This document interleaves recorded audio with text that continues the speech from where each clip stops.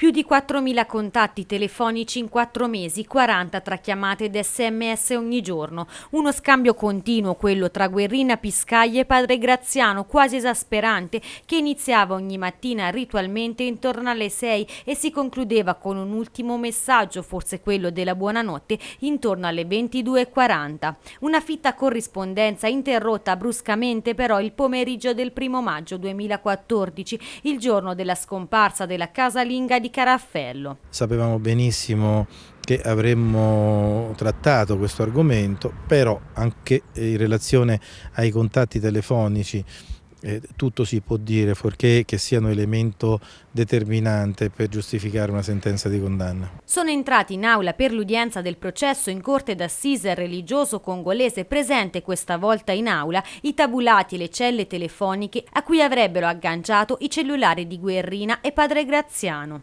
Hanno sfilato davanti alla corte d'assise i testi del PM Marco Dioni, il maresciallo Surico che ha coordinato le indagini, il perito incaricato dal tribunale per la trascrizione registrazione delle intercettazioni telefoniche ed infine il maresciallo Santoro De Ros di Roma. Di pari passo in termini tecnici vuol dire eh, qualche chilometro di ampiezza delle celle di copertura perché come ha detto il eh, consulente che abbiamo ascoltato oggi una cella riesce a coprire circa 18 km, 20 km di ampiezza e in 18-20 km di ampiezza ci sono moltissime persone interessate a questo processo che gravitavano in quell'area. Lo stesso Mirko Alessandrini eh, stava insieme a Padre Graziano. Oggi abbiamo diciamo, la prova, eh, in parte quegli indizi diventano prova, quantomeno ci sono dei dati scientifici che sono incontestabili.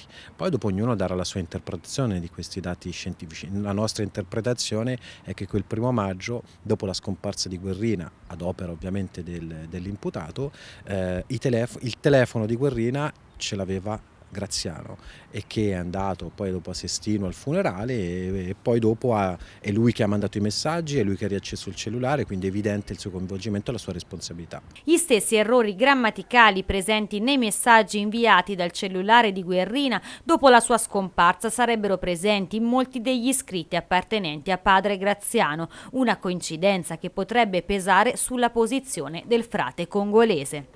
Perché negli scritti di Padre Graziano? Perché sono gli unici esaminati dalla Procura della Repubblica. Alla prossima udienza noi eh, forniremo prova che esistono altri scritti di altre persone che contengono i medesimi errori. Già coinvolte in questa vicenda?